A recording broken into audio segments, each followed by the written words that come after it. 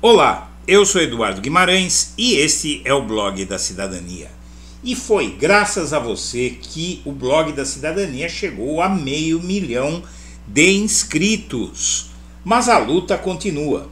Vamos levar a tantos quantos possamos os fatos como eles são e a verdade como ela é. Por isso, inscreva-se no canal, acione o sininho das notificações e deixe o seu like. Bom dia, senhoras e senhores. Hoje é 4 de dezembro de 2023. São 11 horas e 30 minutos.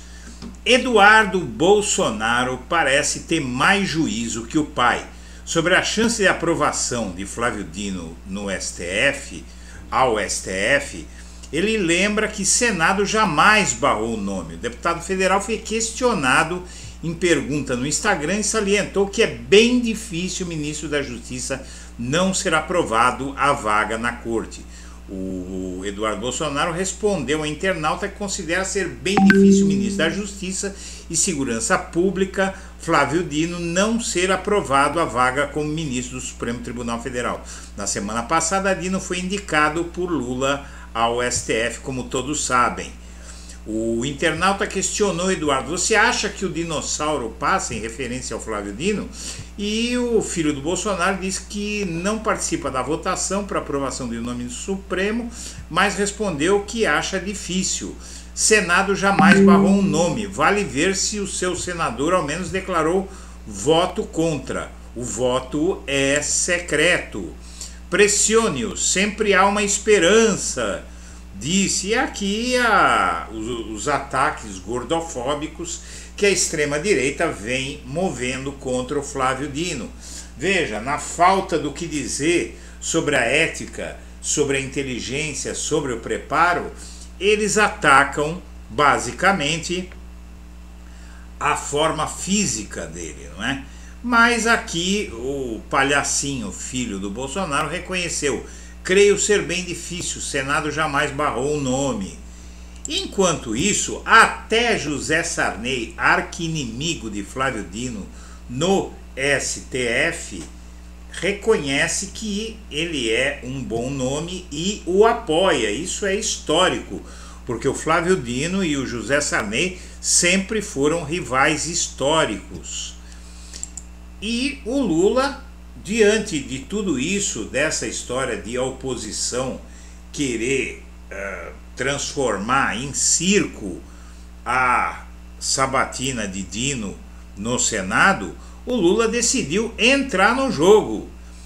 E agora o Bolsonaro resolveu se envolver na articulação, numa disputa com o Lula, para barrar o Dino no STF. Veja só, o Bolsonaro vai participar da articulação no Senado para tentar barrar a indicação do ministro da Justiça Flávio Dino ao STF.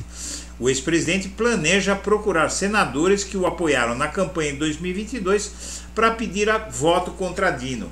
E, na verdade, talvez algum senador tenha a lucidez de lembrá-lo que ele indicou o ministro da Justiça dele, o Mendonça, o André Mendonça, por ser terrivelmente evangélico e até o PT ajudou, não se recusou porque é uma decisão do presidente da República.